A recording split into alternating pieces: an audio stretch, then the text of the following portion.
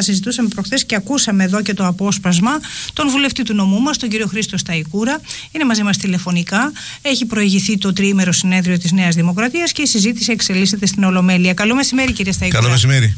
Καλό μεσημέρι και σας ευχαριστώ πολύ. Τι κάνατε, τι γίνεται, Πώς πάει η Βουλή; Προφανώ ένα πολύ σύντομο σχόλιο είναι απολύτως καταδικαστέα και από την πλευρά της Νέας Δημοκρατίας. Άλλωστε ο ίδιος ο πρόεδρος της Νέας Δημοκρατίας. Πήγε ο κ. Μουστάκη επί τόπου εκείνη το πρωί. Ναι. Αυτή η εγκληματική ενέργεια εναντίον του ΣΚΑΙ και των εργαζομένων προφανώς του σταθμού. Mm-hmm. Το, έχουν το έχουν καταδικάσει όλα τα κόμματα, κύριε Σταϊκούρα. Δεν ξέρω, η Χρυσή Αυγή αν το καταδίκασε. Ε, δεν έχω παρακολουθήσει δεν έχετε ακούσει των κομμάτων, αλλά είναι γεγονός ότι και ο Πρωθυπουργός ναι. και τα άλλα ναι, ναι κόμματα, ναι, ναι. τουλάχιστον του Δημοκρατικού Τόξου, ε, έχουν καταδικάσει αυτή την ενέργεια. Και δεν είναι χτύπημα κατά ενός ε, μέσου ενημέρωσης, κύριε Σταϊκούρα, είναι χτύπημα στη δημοκρατία. Η δημοκρατία λέει ότι μπορούμε να έχουμε την ελευθερία του λόγου, μπορούμε να κάνουμε κριτική, μπορεί να συμφωνήσει ή να διαφωνήσει με ένα μέσο, με δημοσιογράφους, αλλά δεν μπορεί να βάζεις 10 ε, κιλά εκρηκτική ύλη και να ανατινάζεις ένα ολόκληρο κτίριο. Και να κινδυνεύουν άνθρωποι έτσι. Προφανώς είναι χτύπημα στη δημοκρατία και η κάθε πράξη βίας είναι χτύπημα στη δημοκρατία. Γι' αυτό και δεν θα πρέπει να διακρίνεται σε μικρή ή μεγάλη και η κυβέρνηση θα πρέπει επιτέλους να πάψει να δείχνει ανοχή σε όλα αυτά τα φαινόμενα τα οποία βλέπουμε καθημερινά να εκτελήσονται σε μικρότερο ή μεγαλύτερο βαθμό. Να το φέρουμε στο Κοινοβούλιο, κύριε Σταϊκούρα, για να συνεχίσουμε μετά και επί του θέματος της συζήτησης. Πολλές φορές ε, η αφορμή για να δυναμητίζεται το κλίμα και να υπάρχουν τέτοιες πράξεις κατά της δημοκρατίας δίνονται και μέσα από το Κοινοβούλιο. Με εμπριστικές δηλώσεις δεν θα διαφωνήσω ότι μπορεί να εκφράζονται συγκεκριμένες τέτοιες απόψεις. Ο συνομιλητής σας, δηλαδή, εγώ αυτή τη στιγμη έχω προσπαθήσει στα 12 χρόνια του, του βίου μου, του πολιτικού μου βίου εντός κοινοβουλίου, να μην εκφράζω απόψεις οι οποίες να προκαλούν να δυναμητίζουν αυτό το κλίμα. Οφείλω όμως να σας πω ότι η ευθύνη της κυβέρνησης είναι πολύ μεγάλη και λεκτικά και πρακτικά. Και λεκτικά σε ό,τι αφορά την εκφορά του λόγου. Σας mm-hmm. θυμίζω αναφορές, είμαστε τελειώνετε ή σας τελειώνουμε. Ε, σας θυμίζω άλλες αναφορές που έχουν γίνει για το παρελθόν όταν κυβέρνησαν άλλα κόμματα και μάλιστα θυμάμαι χαρακτηριστικά τον Υπουργό Οικονομικών προχθές όταν ε, του υπενθύμησαν κάποιοι βουλευτές το τι έλεγαν τα στελέχη του ΣΥΡΙΖΑ στο παρελθόν να λέει μας έχετε ακούσει την τελευταία τριετία να λέμε κάτι τέτοιο; Ο χρόνος δεν τεμαχίζεται. Αυτό δημιουργείται στο υποσυνείδητο της κοινωνίας. Άρα ναι, αντιστρέφω λίγο το ερώτημά σας, οφείλουμε όλοι και εντός κοινοβουλίου να είμαστε πολύ και προσεκτικοί. Συμφωνώ απόλυτα. Κύριε Στακούρα, είχε προηγηθεί το συνέδριο της Νέας Δημοκρατίας, όπου εκεί έγιναν ορισμένα πράγματα. Μια έτσι πρόγευση πήραμε το τι θα σχεδιάσει και θα υλοποιήσει όταν αλλάξουν τα δεδομένα στη χώρα μας και να λάβει, αν επαληθευτούν και τα δημοσκοπικά ευρήματα, η Νέα Δημοκρατία κυβέρνηση. Λοιπόν, ε, και μάλιστα κάπου διαβάσαμε ότι από τις αρχές του χρόνου η Νέα Δημοκρατία θα αρχίσει να εξειδικεύει αυτές τις ε, εξαγγελίες της με τη μορφή μέτρων που θα λάβει όταν θα γίνει κυβέρνηση. Ε, πιστεύετε ότι αυτές οι εξαγγελίες είναι υλοποιήσιμες, δηλαδή έχετε πλήρη εικόνα του τι συμβαίνει αυτή τη στιγμή στα δημοσιονομικά της χώρας μας; Η εικόνα την οποία έχουμε είναι αυτή η οποία αποτυπώνεται στην εκτέλεση του προπολογισμού ναι. και στο μεσοπρόθεσμο πλαίσιο δημοσιονομικής στρατηγικής. Ναι. Δηλαδή στο πώς πηγαίνει κάθε μήνα ο προπολογισμό της χώρας, και στο ποιες είναι οι εκτιμήσεις της κυβέρνησης και των δανειστών για τη χώρα τα επόμενα χρόνια. Ναι. Σε αυτό το πλαίσιο, συνεπώς, έχουμε διατυπώσει ένα ολοκληρωμένο και ρεαλιστικό σχέδιο, το οποίο διαρκώς εμπλουτίζουμε και επικαιροποιούμε. Γιατί σας λέω εμπλουτίζουμε και επικαιροποιούμε; Για παράδειγμα, στην Διεθνή Έκθεση τη Θεσσαλονίκης, ακούσατε τον πρόεδρο της Νέας Δημοκρατίας να μιλάει για συγκεκριμένες μειώσεις φόρων. Mm-hmm. Για τα φυσικά πρόσωπα, για τον ένσια, για τις επιχειρήσεις, mm-hmm. για το ΦΠΑ στην εστίαση. Ακούσατε όμως το πρόεδρο της Νέας Δημοκρατίας προχθές στο λόγο του να προσθέτει συγκεκριμένες πρωτοβουλίες που αφορούν ζητήματα κρίσιμα για το μέλλον της χώρας όπως είναι το δημογραφικό. Άρα ακούσατε συγκεκριμένες προτάσεις που αφορούν το αφορολόγιο του για κάθε νέο παιδί ή α, που αφορούν την χρηματοδότηση του κάθε νέου παιδιού με 2.000. Επίδομα 2.000 ευρώ. Ε, έτσι ώστε να μπορέσουμε να αντιμετωπίσουμε ένα πρόβλημα το οποίο θα το βρει μπροστά της η χώρα με πολύ πιο έντονο τρόπο τα επόμενα χρόνια. Άρα επικαιροποιούμε και εμπλουτίζουμε. Εύλογο ερώτημα, το οποίο υπενήσεστε με το ερώτημα, ναι, ναι. είναι και τα λεφτά από πού; Έτσι. Αυτό θα Εμείς συνεπώς, ε, ε, νομίζω ότι το υπενηθήκατε στο ερώτημά σας και προσπαθώ να είμαι απολύτως σαφής και ακριβής. Πρώτον, εμείς έχουμε πει ότι θα διεκδικήσουμε αφού επί ένα χρόνο υλοποιήσουμε το πρόγραμμά μας χαμηλότερους δημοσιονομικούς στόχους. Τι σημαίνει χαμηλότερη δημοσιονομική στόχη; Μεγαλύτερο περιθώριο για ακόμα μεγαλύτερες μειώσεις φόρων και ασφαλιστικών εισφορών. Την κυβέρνηση δεν την ακούτε να μιλάει πλέον για χαμηλότερους στόχους. Έχει μείνει σε αυτό το ποσοστό, το 3,5% κολλημένη για 5 χρόνια και λέει ότι αυτές είναι οι δεσμεύσεις μας. Ναι. Εμείς λέμε ότι ναι, αυτές είναι οι δεσμεύσεις, αλλά θέλουμε να τις αλλάξουμε αφού όμως πρώτα εμείς υλοποιήσουμε ένα πρόγραμμα που οδηγεί σε υψηλότερη ανάπτυξη. Δεύτερη διαφορά δική μας με την κυβέρνηση. Εμείς μιλάμε για στοχευμένες μειώσεις φόρων μέχρι 2 δισεκατομμύρια ευρώ την επόμενη διετία. Από πού; Πρώτα απ' όλα από την εκτέλεση των προϋπολογισμών όλων των φορέων της Γενικής Κυβέρνησης. Αυτό είναι ένα χαρακτηριστικό παράδειγμα. Όπως. Σήμερα που μιλάμε, οι αστικές συγκοινωνίες στην Αθήνα ήδη έχουν χρησιμοποιήσει εδώ και ένα μήνα τον ετήσιο προϋπολογισμό τους. Παράδειγμα.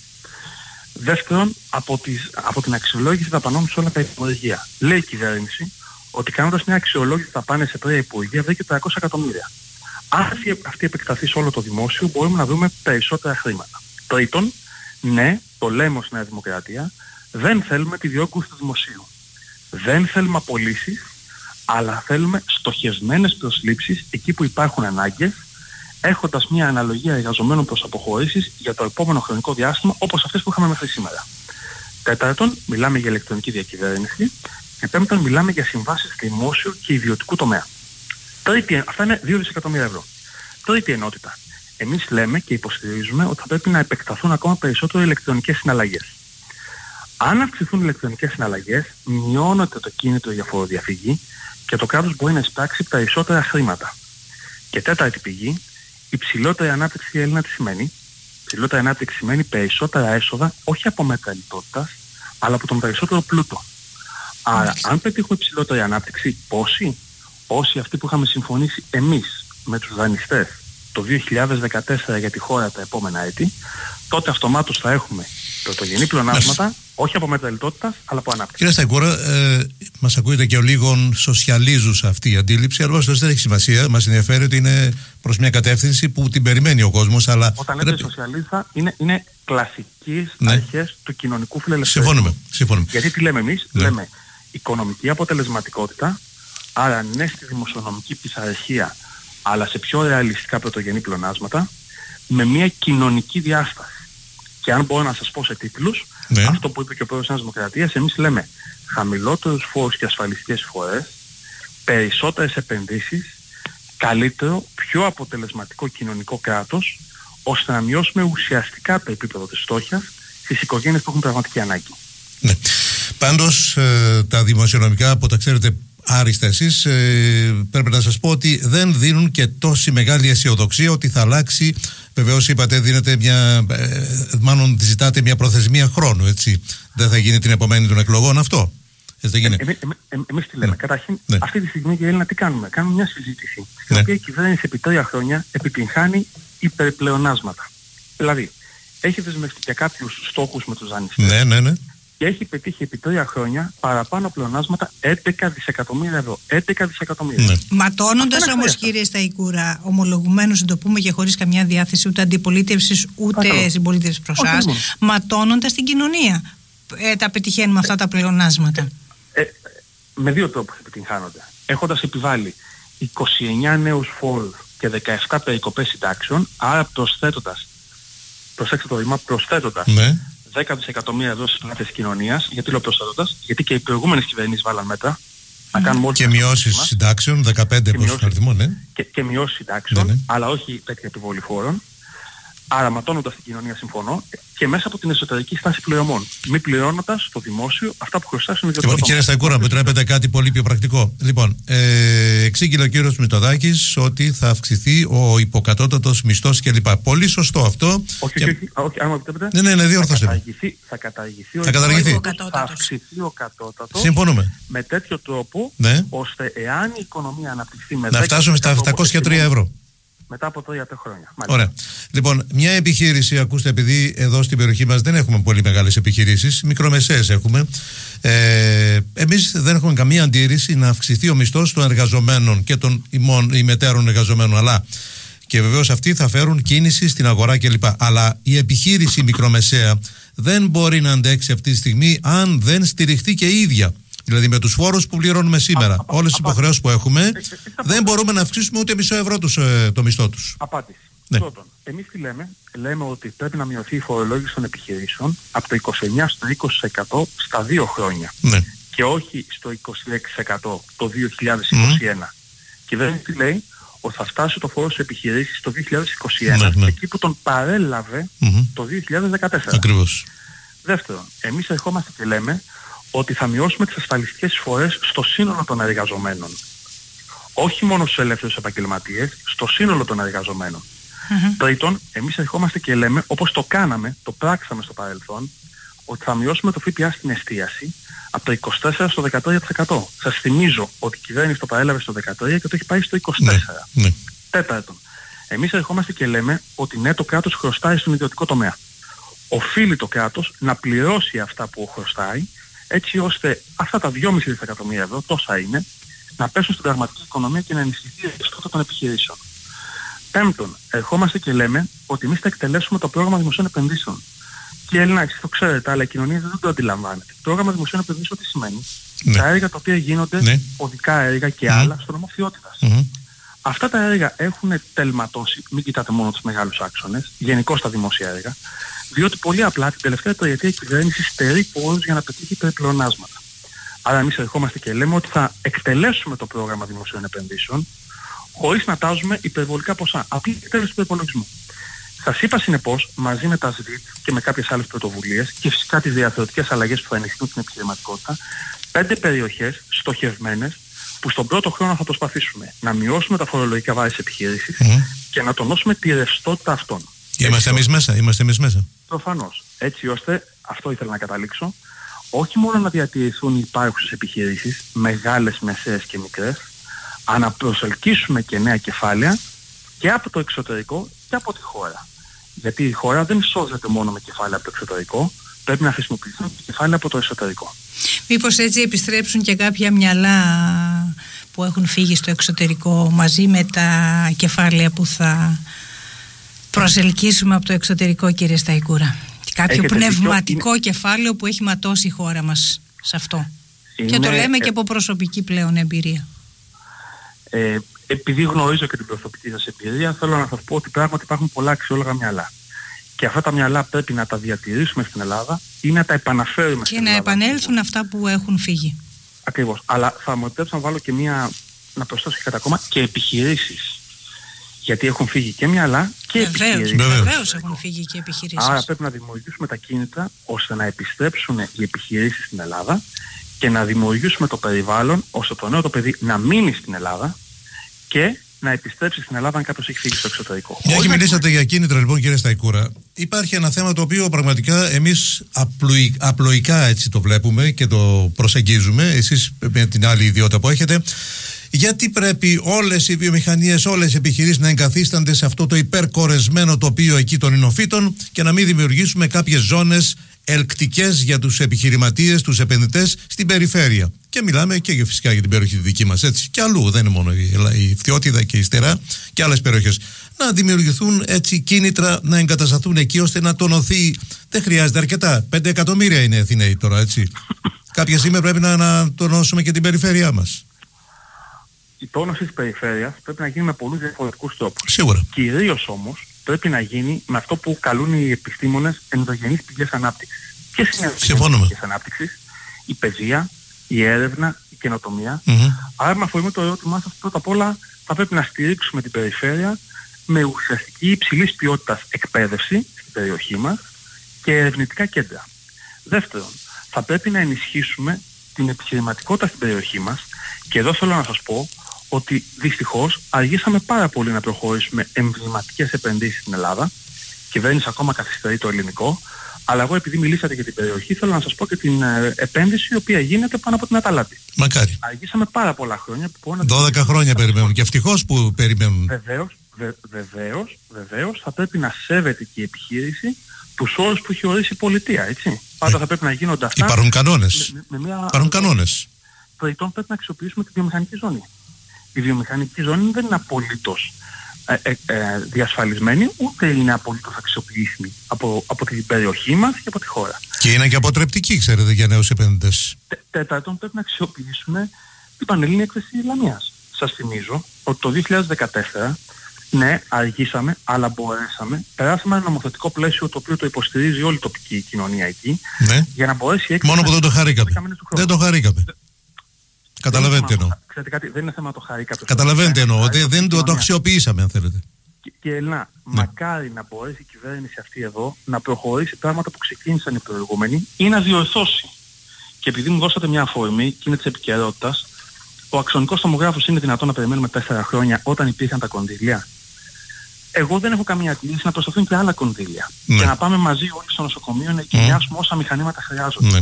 Είναι υποφελία του τόπου. Ασφαλώς. Πρέπει να μάθουμε να παίρνουμε τα θετικά των προηγούμενων και να προσθέτουμε πάνω σε αυτά ή να διορθώνουμε αν κάπου υπάρχουν κακό κείμενα.